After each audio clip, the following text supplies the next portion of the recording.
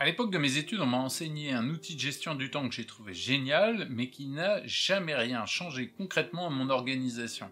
J'ai mis des années à comprendre qu'on me l'avait mal expliqué et que je ne savais pas m'en servir, alors que c'est très puissant. Je vous montre. La matrice d'Eisenhower consiste à trier ses tâches selon deux axes, l'importance et l'urgence. Quand on me l'a introduite, on m'a expliqué qu'il fallait prioriser ce qui est urgent et important, planifier ce qui est important pas urgent, déléguer ce qui est urgent mais pas important, et arrêter ce qui n'est ni urgent ni important. Soyons clairs, ce sont des conseils de merde. D'ailleurs, je comprends pas comment on est arrivé à ça. Cette matrice, elle tire son nom de Dwight Eisenhower, le 34e président des États-Unis, qui aurait déclaré ce qui est important est rarement urgent, et ce qui est urgent, rarement important. Je suis tout à fait d'accord, et il le dit, urgent, ça veut pas dire important. Donc, je vous partage ma version de la matrice. Ce qui est urgent et important, j'appelle ça la crise. Et la crise engendre la crise. On panique, on se met à courir partout comme un canard sans tête, et pendant qu'on met toute son énergie à passer la crise, on délaisse autre chose qui devient à son tour une autre crise. Ce qu'il faut, c'est pas résoudre la crise, c'est la contenir. On a besoin de pare-feu, d'empêcher la contagion. Donc ce qui est vraiment important, c'est ce qui est important, pas urgent, jusqu'à un certain point.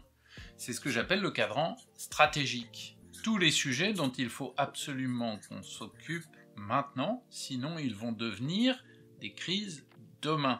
La vraie question du volet stratégique, c'est où sont les bombes à retardement et où sont les leviers pour acheter du temps. Le troisième cadran, le cadran urgent, pas important, on me l'a enseigné en me disant ça c'est des trucs à déléguer. Ben, pourquoi? Si c'est pas important, où est l'urgence? C'est exactement ce que dit Eisenhower, les trucs urgents sont rarement importants.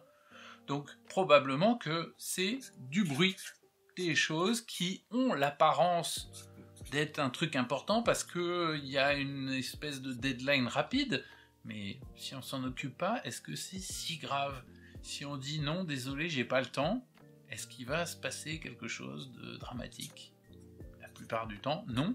Ou alors on s'est gouré, ils sont pas dans le cadran euh, du bruit, ils sont dans le cadran de la crise. Et le dernier cadran, c'est le cadran des choses qui sont pas urgentes et pas importantes, et quand on me l'a enseigné, on m'a dit oui, euh, bah ça du coup c'est des pertes de temps, il faut arrêter. Bon, on peut appeler ça de la procrastination. Et arrêter euh, la procrastination, bah, c'est pas si facile que ça à faire, sinon personne procrastinerait. En fait, on n'est pas si débile que ça. Si on néglige des trucs importants et urgents pour des broutilles, c'est sans doute qu'on a une bonne raison cachée. Des bénéfices secondaires ou un besoin non satisfait. Et il faut, à mon avis, chercher ce que c'est pour avoir une action plus intelligente.